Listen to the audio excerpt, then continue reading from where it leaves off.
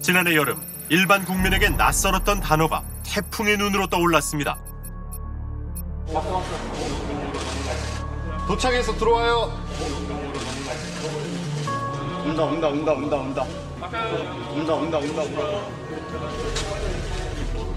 조국 법무부 장관 후보와 함께 소환된 사모 펀드가 그것입니다. 저 펀드에는 처음부터 가족만 들어가 있는 거예요. 가족만. 뭐 조국 펀드 이렇게 이름을 붙여요? 그게 조국 펀드인가요?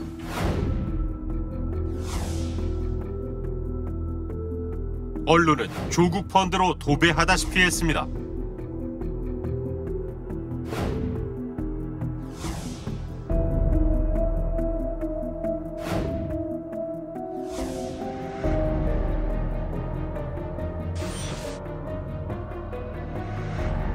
야당은 조국 후보가 사모펀드로 본인의 대선 자금을 조성했다는 의혹까지 제기했습니다.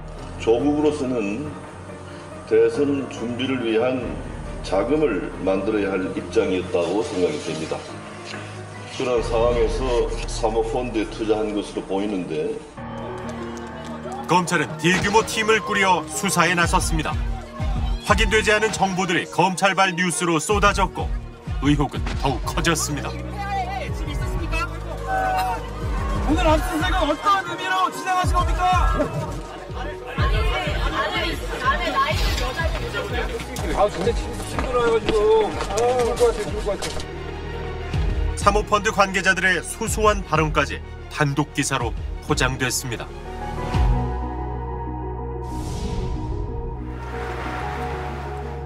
추측성 기사와 가짜 뉴스가 넘쳐나는 가운데 국민 여론은 둘로 쪼개졌습니다.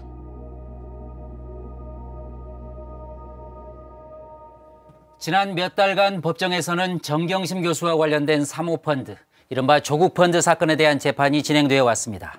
검찰과 변호인이 날선 공방을 벌이는 가운데 비중 있는 증인이 속속 등장해 이전에 알려지지 않았던 새로운 사실을 증언하고 있습니다. 사건의 실체가 하나씩 드러나고 있습니다. 아주 특이한 현상도 보입니다. 정경심 교수와 관련된 사모펀드에 대해 많은 기사를 쏟아냈던 언론인들은 웬일인지 법정 주변에서 찾아보기 어렵습니다. 조국 펀드라는 이름으로 쏟아졌던 엄청난 양의 기사들에 비하면 이례적인 일입니다. 과연 조국 펀드란 무엇일까요? 재판 과정에서 드러난 증거와 증언을 통해 조국 펀드의 실체가 무엇인지 추적했습니다.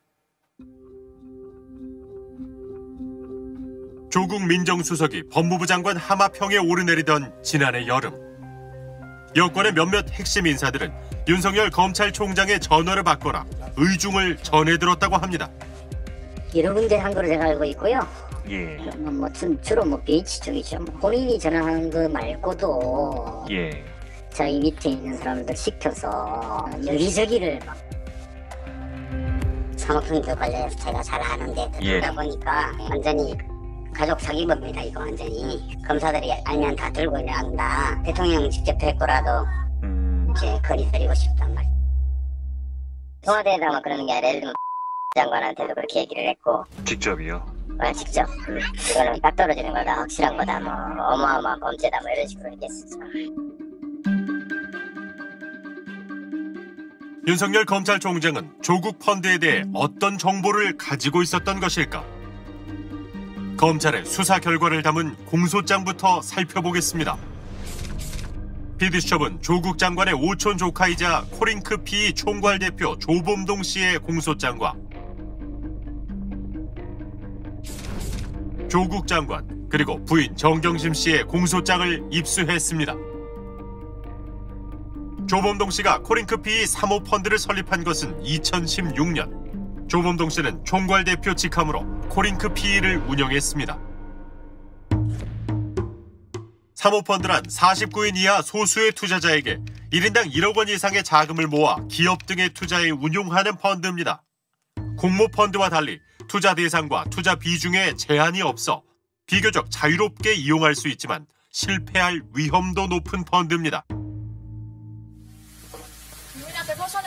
2017년 정경심 씨는 남동생과 자녀 등 일가족 6명의 명의로 코링크 PE에 약 14억 원을 투자했습니다.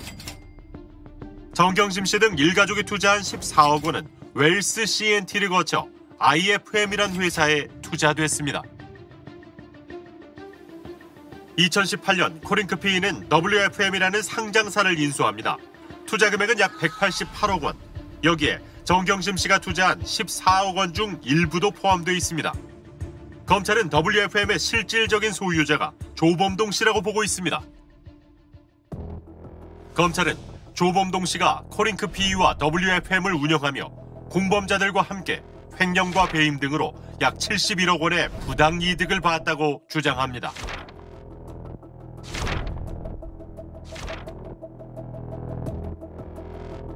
한편 정경심 씨는 코링크 PE에 14억 원을 투자한 후 동생과 함께 매달 약 860만 원, 총 1억 5천여만 원 가량을 받았습니다. 경영 컨설팅 용역비라는 명목이었습니다.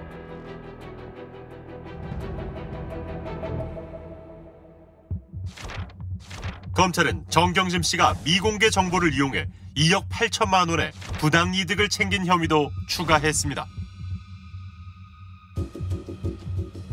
검찰은 조국 장관도 공범으로 결론지었습니다. 부인이 코링크 PE에 투자한 사실을 알았다는 것입니다. 정경심 씨가 증권사 직원과 나눈 대화에서 남편과 의논해 보겠다고 언급한 내용을 그 근거로 제시했습니다. 현행법상 고위공직자의 가족이 사모펀드에 투자하는 것이 위법한 행위는 아닙니다. 조국 민정수석은 부인과 자녀 명의로 코링크피 사모펀드에 가입한 사실을 공개한 바도 있습니다.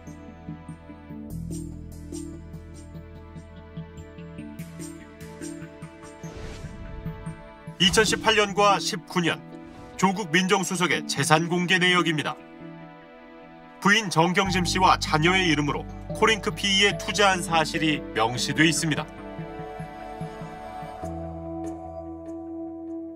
검찰은 조국 장관이 부인 정경심 씨가 코링크 PE에 투자한 사실을 알았고 부인에게 투자금 8,500만 원을 송금했다는 등의 이유로 조국 장관을 공직자 윤리법 위반 등의 혐의로 기소했습니다. 정경심이 민정수석의 지위를 활용해 사익 추구를 한 범죄. 정경심은 무자본 M&A에 편승해 약탈적으로 사익을 추구했다.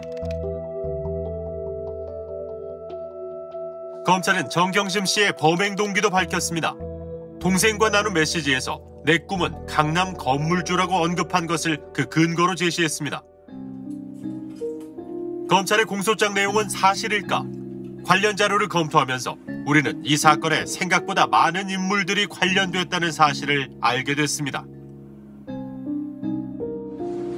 예, 대표님. 해외에는 왜 나가셨던 겁니까? 정경심 교수 만난 적 있으시죠? 없어요. 해외에는 누구랑 계셨던 거죠? 만난 적 없으시다고요? 없어요. 조범동 씨랑 계속 연락하고 있습니까? 없어요. 한 번도 안 했어요. 코링크 PE가 인수한 WFM의 대주주였던 우국환 씨. 그가 소유한 신성석유입니다. 우국환 씨는 신성석유 명의로 코링크 PE에 21억 원을 출자했습니다. 정경심 씨 일가가 투자한 14억 원보다 더 큰 돈입니다. 안녕하세요. 이거 신성석유 맞아요? 신성석유? 예. 예. 예. 석유 맞, 맞아요. 그 우국한 회장님 데려왔는데. 없어, 없어요. 아, 이거 뭐, 딴 데 가야 되는 거예요? 아니, 회사 다른 데 있나요? 예, 몰라요. 코링크 PE가 인수한 WFM에 100억 원을 투자한 팬덤 파트너스라는 법인도 있습니다. 주소지를 찾아가 보니 허허벌판에 건물 한 채가 있을 뿐입니다. 100억 원이라는 어마어마한 돈을 투자한 사람은 누굴까?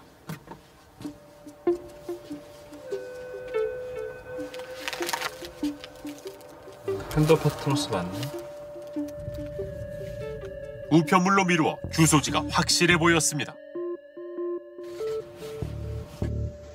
이거 팬더 파트너스가 여기가 맞는 제가 주소지 보고 왔는데. 아닌데? 여기 아니에요? 팬덤이라는 거 처음 들어봐요. 이거 한번 경찰에서 와서 한번 이거 첫번 주소 미국은 여기가 사람도 없는데 이거 주소야 되냐고요? 에돈 파트너스라는 법인도 코링크 PE가 인수한 WFM에 100억 원을 투자했습니다. 주소지를 찾아가 보니 마사지 업소였습니다. 어?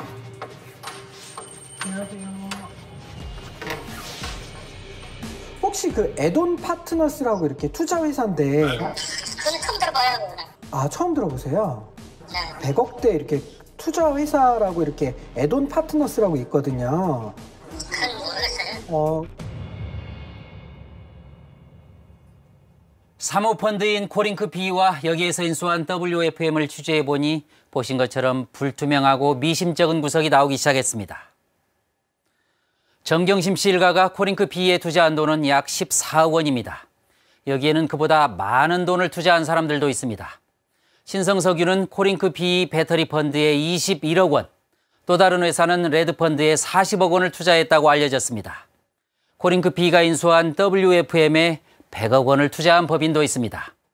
결국 이 경제 사건의 실체를 알려면 돈의 흐름을 봐야 하고 누가 어떻게 여기에 관계되어 있는지 밝혀내야 합니다. 저희는 코링크 PE 사모펀드가 어떻게 출범했는지 시작부터 짚어보기로 했습니다. 먼저 코링크 PE 사모펀드에 근무했던 핵심 관계자들을 만나봤습니다. 검찰이 주범으로 지목한 조범동 씨. 그는 조국 전 장관 사촌형의 아들, 즉 오촌 조카입니다. 코링크 PE를 설립하기 전에는 오토바이 영업을 했습니다. 현종화 씨는 코링크 PE가 설립되기 훨씬 전부터 조범동 씨와 알고 지낸 사이였습니다. 되게 오래된 지인이에요. 한 지금 한 17년 정도, 예, 그 정도. 어떻게 알게 되셨어요? 예. 제가 이제 그 모터사이클 관련 그 잡지사에서 근무를 했었거든요. 거기에서 이제 그때 조범동은 그런 거였죠. 이제 모터사이클을 수입해서 팔던. 수입 오토바이를 판매하던 조범동 씨는 주식에도 관심을 두었는데 주식 투자 관련 책을 낸 것이 인생의 전환점이 됐습니다. 이게 조범동이라는 사람이 책을 내요. 그래서 그러니까 이게 책을 내는데 그 책이 베스트셀러가 돼요. 이게 주식 부분 베스트셀러가 되고 그래서 출판사에서 두 번째 책을 냅니다. 주식 관련 책으로 성공을 거둔 조범동 씨는 2016년 서울 강남에서 사모펀드 회사를 설립했습니다. 훗날 정경심 씨와 관련된 코링크 PE였습니다.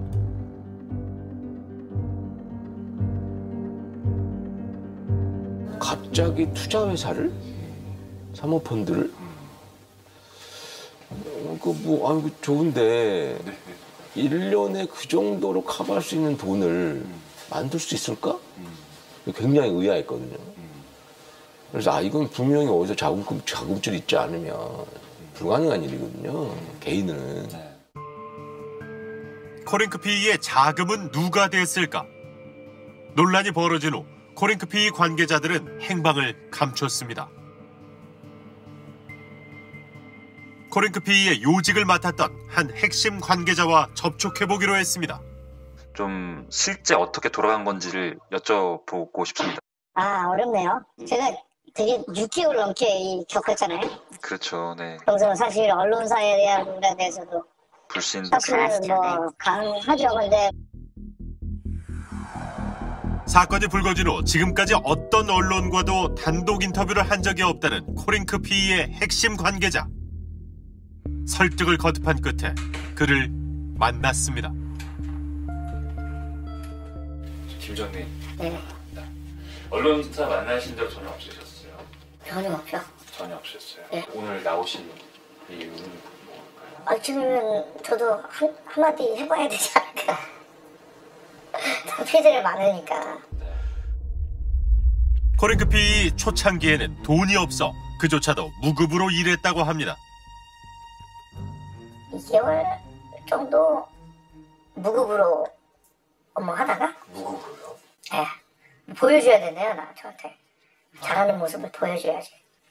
회사 구성원들이 여러 있다 예 그걸 보여줘야 된다. 자기가 뭐 말로만 하기에는 형편이 없다. 이러면서 열심히 무급으로. 본인도 14일 막딱 그렇게 진행을 못하더라고요. 서울 강남 한복판에 번듯한 사무실을 열었지만 조범동 씨는 당시 신용불량 상태였다고 합니다. 이 때문에 대표이사에 취임할 수 없어 대리인을 법적 대표이사에 세우고 본인은 총괄 대표라는 모호한 직함으로 회사를 운영했습니다. 조범동은 그걸 나 사, 사고 싶어 살 거야라고 할 수 있는 위치가 아니에요. 의사결정을 할 수 있는. 네. 어, 자기가 돈이 있어야 자기가 돈이 있어야 내가 이거 살 수 있을 것 같아라고 하죠. 항상 뭐, 뭐가 있으면 전화 먼저 하죠. 의사결정을 하기 전 조범동 씨가 전화를 건 대상은 누구였을까? 검찰이 주범으로 지목한 정경심 씨나 조국 민정수석이었을까?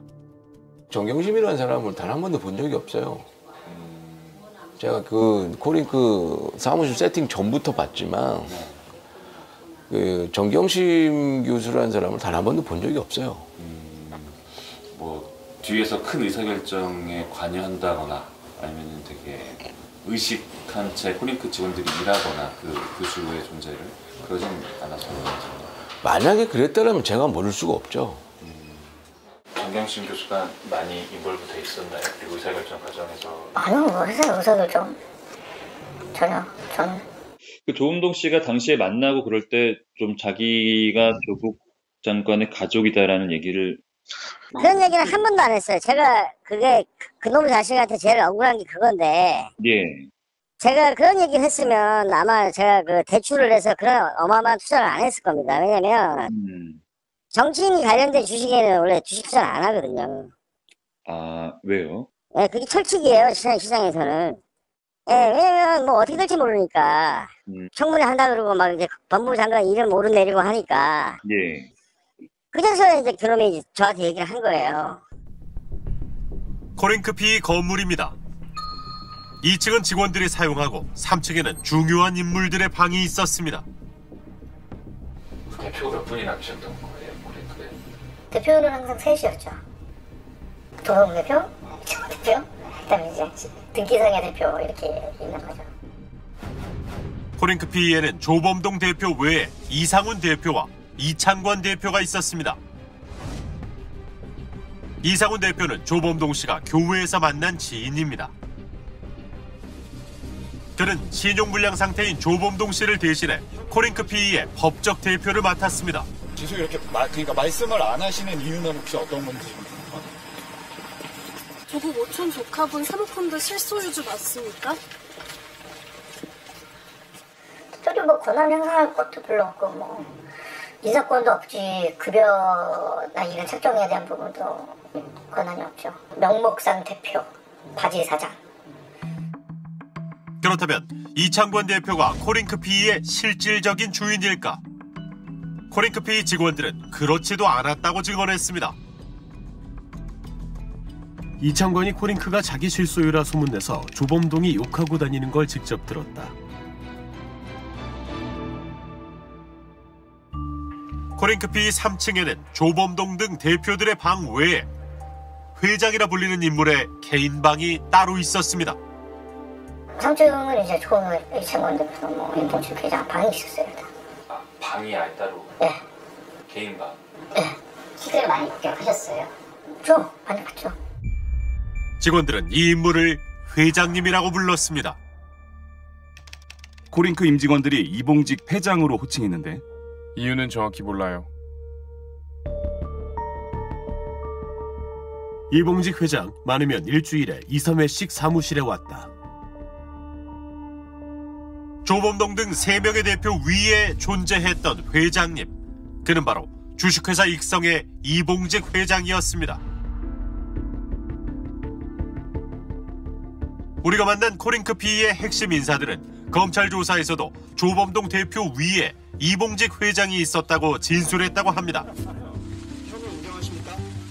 하지만 익성 이봉직 회장은 검찰의 관심사가 아니었다고 합니다. 제 개인적으로는 확실히 의도가 있었다. 그러니까 조범동에만 포커스를 맞췄어요. 이거는 내가 봤을 때는 익성의 돈이다. 코링크를 처음에 설립한 것도 익성이고 기본적으로 무슨 얘기만 하면 익성이 해준다고 했다. 익성 얘기도 좀 하셨어요? 조사받았어요? 검찰은 익성에 대해서 얘기를 하지 않았어요. 제가 익성에 대해서 얘기를 했지.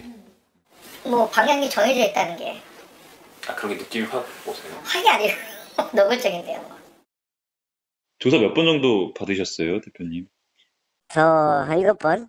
일곱 번이나 받으셨어요? 예. 처음에는 뭐 저는 이제 조국 시장에만 계속 물어봤던 거죠. 조국 시장 연관된 게 없는지. 근데 뭐, 뭐 구자고 핸드폰이고 다 압수수색 당했으니까 아, 예, 예. 다 확인해보고 이제 없는 거죠. 음, 없으니까 이제 그, 뭐 이제 국회 전화 끝났습니다. 검찰의 표적은 따로 있었던 게 아닐까. 조국 펀드 수사 검사에게 코링크 PE의 실제 운영 주체가 누구라고 생각하는지 물었습니다.